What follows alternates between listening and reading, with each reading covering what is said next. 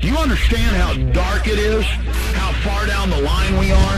How late it is? Going to George Fort Title, who's a YouTube reporter, uh, and he went down to Mexico City. We've had a lot of folks from Mexico City on, Sherri Tenpenny from Mexico, other people from Mexico reporting, and they were all saying a lot more people sick than was being said, a lot more people, and that there were troops running around. It was all scary, but then suddenly it turned out those were just regular flus, regular colds, regular people dying of pneumonia, kind of a mass panic kind of a War of the Worlds deal where folks were out shooting water towers thinking they were tripod alien creatures, you know, and when Orson Welles did that, kind of the same deal.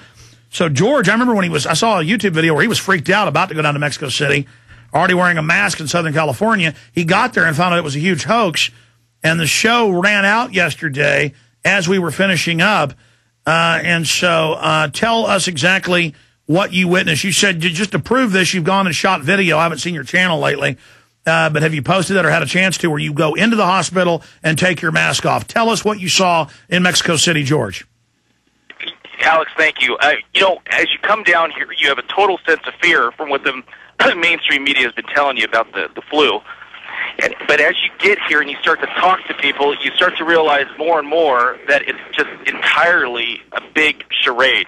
And I just got so frustrated one day. Uh, I actually have a video of this on my website. I said, I'm going to go into this emergency room. And, and they had uh, swine flu cases in this hospital. And I said, I'm going to go in there. I'm going to take off my mask, and I'm going to hang out in there. And you know what? I did that, and, and even my taxi driver came with me, and I videotaped it. And, um, you know, I, I just wanted to prove to my followers or my listeners that it, it's it's a, it's a charade. This is the regular flu. People are going in with regular flu. They're not dying in, in these massive numbers that they're talking about, and and even if they even if we had a few hundred deaths here, that doesn't justify shutting down a city of 20 million plus. I mean, it's 20 million people live here, and, and that's the key. Let me that. stop you. That's the key. Is that imagine if they're talking about total martial law, forced inoculations, going to level six for a few dozen people dying when regular flu kills a quarter of a million every year conservatively. What is the deal? What is going to happen when there's just a regular flu and it kills thousands? Are they going to use that for martial law takeover as a smokescreen during uh, economic collapse? And yes, that is the number one playbook attack profile. This was a beta test. We know now what their attack profile is going to be. That is, again, let's say they got five plays they might pull on us coming up as things collapse. That's the number one play Kind of like when they keep throwing Hail Marys, you know that's what this coach is going to do. Well, these guys are running it up the middle with the bio, uh, you know, attack hysteria, and they beta tested this. What were folks saying inside the hospital? Uh, basically, I didn't really get to talk to them, but when we, I eventually got to a doctor, and I have a footage on my channel of a hidden camera talking to a doctor, and I was actually somewhat sick. I, I had, I think I had the stomach flu, and I went in there as a regular patient, and she she she basically said in Spanish, uh, people have translated this for me, that it is totally overblown. That you know, I didn't, I with even with my symptoms, my similar flu-like symptoms, she I, I did not have swine flu. I did not have the symptoms. Right. And I believe in the report she talks about that. She talks in detail, like a 10 minute report in Spanish of what's actually really going on. I mean, it, it is scary when you go in there. Everyone it has masks on. They're tearing people's clothes in red. Well, sir, sir, how do you know you even had stomach flu? I mean, anybody that goes to Mexico for a few days, especially Mexico City, you're going to get Montezuma's revenge. I mean, you know what? That, that's probably what it is. I'm taking Bactrim, an antibiotic which they gave me, and I'm taking Imodium. So I don't know how severe. Well, I mean, I mean, is, sir, I mean, I mean, have you ever been to Mexico City before? Yes. I mean, did did you get a stomach ache last time? No, no. Right, but well, I haven't been here for a long period of time. I mean, sure. I well, well, I mean, I mean, it could be that, it could be that, or it could be this.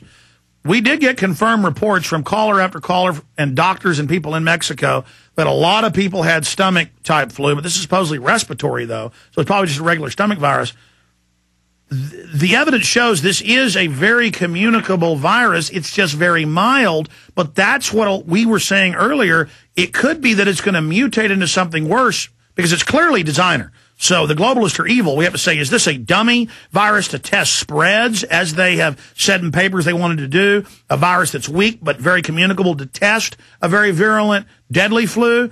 Or is it going to mutate into something worse or combine with other viruses? The UN's now fear mongering saying that. So I'm thinking everything from their perspective, their mindset. Your comments on that? Uh, all I have to say, Alex, is is is my my taxi driver is now sick, so he's at home. I mean, I don't believe he has swine flu. I, I, and I'm getting over whatever I have. It was probably Montezuma's revenge. But I can tell you, as you go into the emergency room, you can see the fear in people's eyes. I mean, if you open the newspapers here, everything is about the influenza. But when you talk to people, they're they're basically telling you it's it's a panic. They call it. They even have a name for it. They call it panico. It's it's like a commonly used term for. But you know, the government uh, just but you know, folks are not worried about that now. They're not worried about the police state. They're not worried about the collapsing economy. They're not worrying about SDRs and the IMF taking Mexico over. They're only worried about the flu or talking about how it shut down their life. Again, a perfect way when revolution's coming to a head to slap it down is to release this. Anything else, sir, from Mexico City?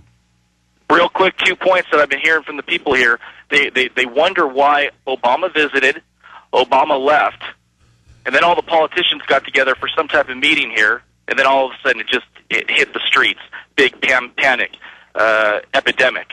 And then the second point is this is timed just with their senator uh, Senate, senator elections in, in one month, and that just kind of put off bells in my head. Well, there's no doubt, and every Mexican we've talked to from Mexico says they're using it as a smokescreen from all their criminal activity. Okay, well, uh, the website is George for Title uh, up on uh, YouTube channel. Hey, what do you think of them uh, banning the Alex Jones channel for showing a news article? When when when Google is stealing every book on the planet, claiming they own it and digitizing it, flaunting. I mean, it's obviously fair use. Washington Journal does it. All these other TV shows show news articles. I mean, I mean, the news shows clip outs. This is asinine crap. And they said if the Pittsburgh Post Gazette does not remove their uh, DMCA takedown order, the site isn't going back up. So I guess, in fact, give me the number to the Pittsburgh Post Gazette. And, in fact, I want their number. I'm going to give that out later. I mean, they are a real piece of work. But who's the bigger piece of work, them or YouTube? I mean, I mean, think about it. Over 2,000 videos, a million views a week. I mean, we were just counting up the weeks. A million here, half a million there, a million here. No way to count up a year and a half with, you know, uh, in the last six months or so, millions of views a week. My God, this is incredible. No, Alex, you know what it is? There's groups behind this that are flagging your videos, they're reporting your videos, and they're working in collusion with YouTube to, to get that site down. I can no, no, they've contacted us. They've con. I mean, they comment and go, "You bastard, we're going to shut you down. We're going to keep filing fake complaints." And so, you know what? I'm going to give YouTube what they want. I'm going to give their stinking phone number out, and I want them called today. I want them called tomorrow. I want them called next week. Uh, George, I'm going to let you go. I appreciate your report from there. Maybe we'll get another one from you uh, coming up.